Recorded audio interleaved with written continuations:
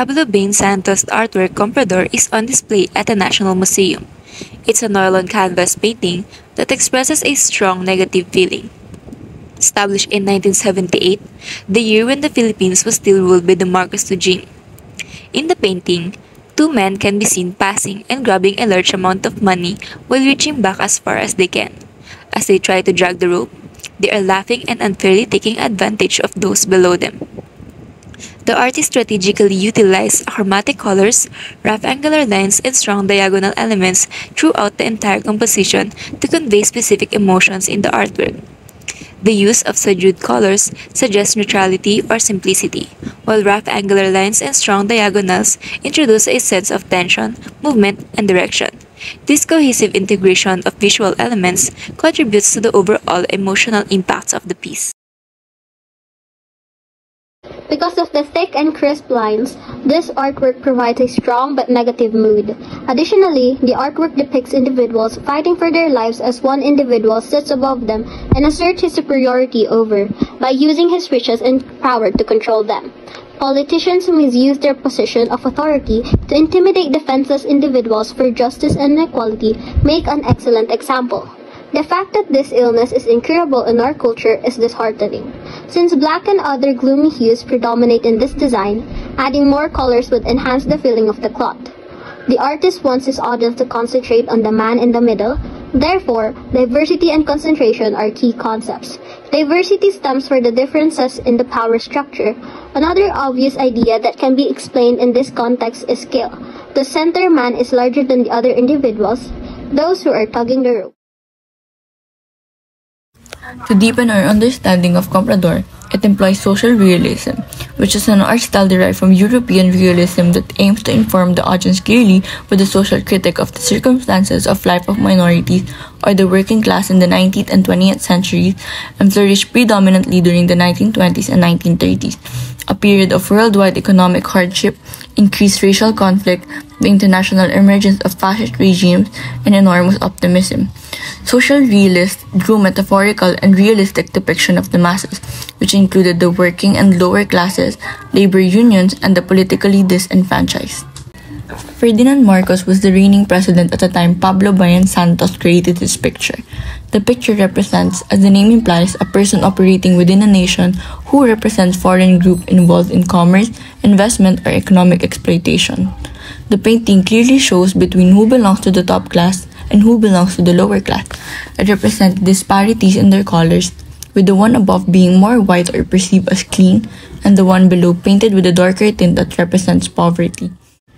The two politicians, one from the Philippines and the other from the United States, profit of the labor of the workers by exploiting the Philippines' economic crisis at the expense of low-wage employees, despite the fact the labor force was the only export that could bring in foreign currency and allow the government to guarantee income for the nation at the low capital.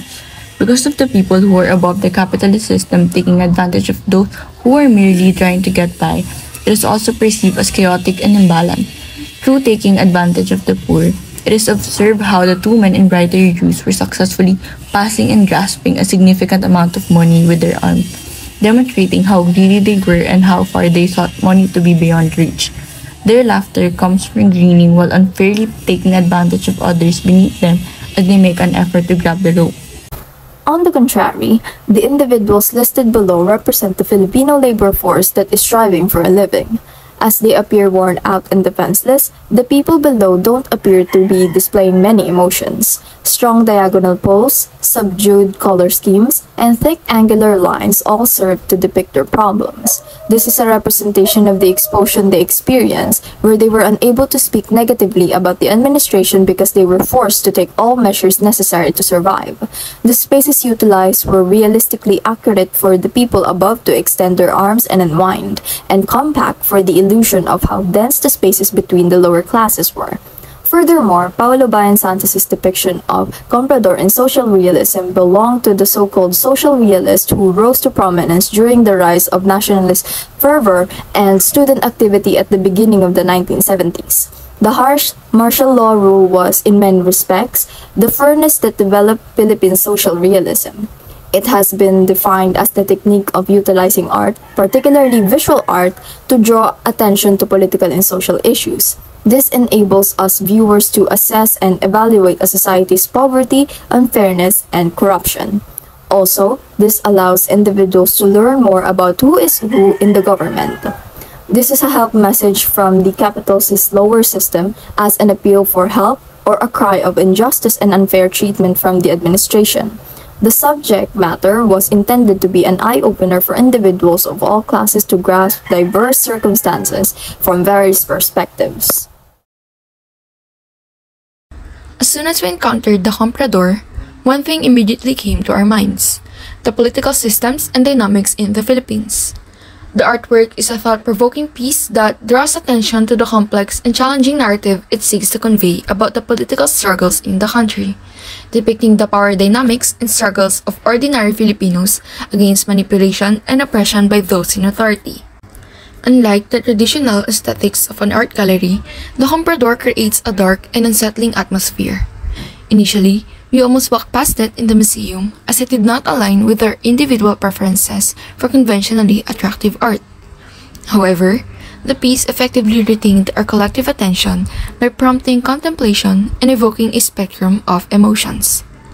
Upon delving deeper, we realized that the deliberate use of visual elements, including thick, sharp lines, and the dominance of dark colors, accurately represents and reflects the disturbing context of the story behind the artwork.